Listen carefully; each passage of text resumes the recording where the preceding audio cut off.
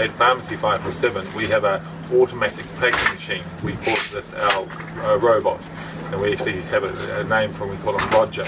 Um, and this machine uh, packs up the medication into little wee sachets.